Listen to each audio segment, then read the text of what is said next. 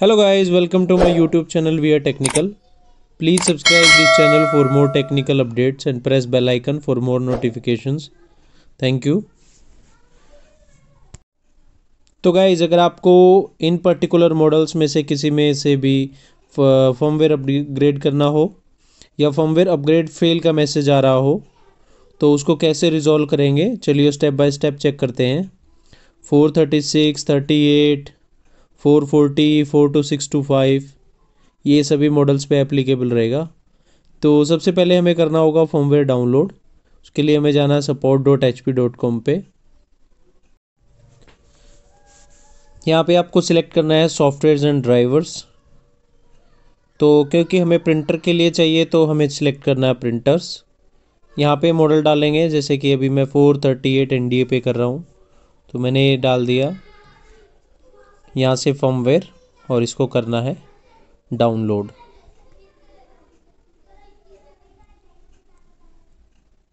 तो गाइज़ आपको कोई भी स्टेप मिस नहीं करना है, क्योंकि मैं बहुत ही इम्पोर्टेंट चीज़ें आपको इस वीडियो में बताऊँगा।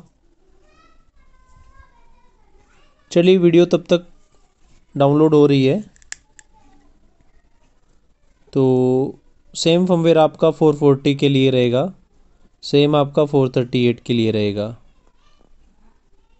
तो अभी मैं जो वर्ज़न कर रहा हूँ, वो है three dot eighty two dot zero one dot one five तो वन फाइव लास्ट में मैं बता रहा हूँ लास्ट का जो पॉइंट है वो वन फाइव है। तो ये डाउनलोड हो गया है, इसको करते हैं एक्सट्रैक्ट एक्सट्रैक्ट करते हैं इसको। मैं इसको डेस्कटॉप पे एक्सट्रैक्ट करता हूँ। इसी में आपको दो फर्मवेयर मिलेंगे। एक आपका ट्वेल्व वर्जन मिलेगा। Three dot eight two dot zero one dot one two तो ट्वेल्व और फिफ्टीन दो वर्जन के लिए है ये। ये देखिए, यहाँ पे आप देख सकते हो दो एच डी फ़ाइल है। एक आपका है ट्वेल्व और दूसरा आपका है फिफ्टीन तो गाइज़ इसके लिए ज़रूरी नोटिफिकेशन ये है। चलिए चेक करते हैं, इसके साथ एक पीडीएफ फ़ाइल भी है। तो जो ये फॉर्मवेयर रहेगा आपका इन पर्टिकुलर मॉडल्स के लिए रहेगा। इन पर्टिकुलर मॉडल्स में अगर आपको फॉर्मवेयर फेल से रिलेटेड मैसेज है तो ये इंपॉर्टेंट नोटिफिकेशन आप ज़रूर देखें। तो ये फॉर्मवेयर रहेगा पर्टिकुलर इन मॉडल्स के लिए। तो यहाँ पे इम्पोर्टेंट नोटिस क्या रहेगा? देखिए, यहाँ पे क्या लिखा है?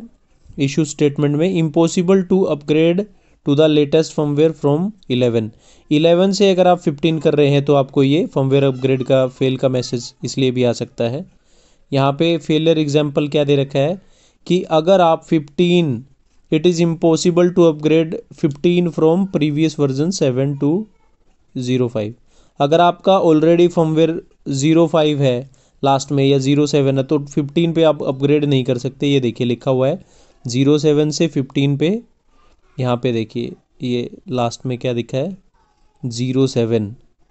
ज़ीरो सेवन से ट्वेल्व पे क्या बोल रहा है? ट्वेल्व पे अपग्रेड कर सकते हो।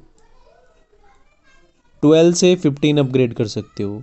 लेकिन आप सेवन से सीधा फिफ्टीन पे अपग्रेड नहीं कर सकते। तो इसमें सीधा सीधा लिखा है, अगर आपका प्रीवियस वर्जन सेवन है three eight two zero one zero seven तो आप उसको ट्वेल्व पे कीजिए पहले। पहले ट्वेल्व अपग्रेड कीजिए, उसके बाद दोबारा से फिफ्टीन अपग्रेड कीजिए। तो ऐसे आपको स्टेप बाय स्टेप करना है। उससे पहले क्या सेटिंग आपको करनी है? इसके लिए जाना menu, hash one zero zero four three six one six menu. Tech mode में आ गए हैं। इसमें जाना है आपको सर्विस फ़ंक्शन में। यहाँ पे फर्मवेयर अपग्रेड को कर देना है ऑन। तो बहुत सारे इंजीनियर क्या ट्राई करते होंगे? सेवन से इलेवन से सीधा आप फिफ्टीन पे कर रहे होंगे, इसीलिए भी आपका फेल हो जाता है। तो अभी क्या करना ड्रैग एंड ड्रॉप करना है एचडी फ़ाइल को यूएसबी लिस्ट पे। तो प्रिंटर में अभी एक्टिविटी स्टार्ट हो जाएगी। ये देखिए फर्मवेयर स्टार्ट हो चुका है। तो गाइज़ ये ज़रूरी है, आपको ध्यान रखना है कि अगर आपके प्रिंटर में three eight two one zero five या ज़ीरो सेवन फॉर्मवेयर है तो आपको सबसे पहले ट्वेल्व वर्ज़न अपडेट करना है। उसके बाद प्रिंटर को रिस्टार्ट करने के बाद जब वो अपग्रेड हो जाए सक्सेसफुल तो आपको फिफ्टीन करना है। आप सेवन से या फाइव से सीधा फिफ्टीन वर्जन नहीं कर सकते तो आपका फर्मवेयर फेल होगा ही होगा। तो अभी हमारी मशीन में कुछ एक्टिविटी चल रही है फर्मवेयर इसमें चल रहा है। तो फर्मवेयर डाउनलोड हो चुका है, लेकिन इंस्टॉल हो रहा है अभी तो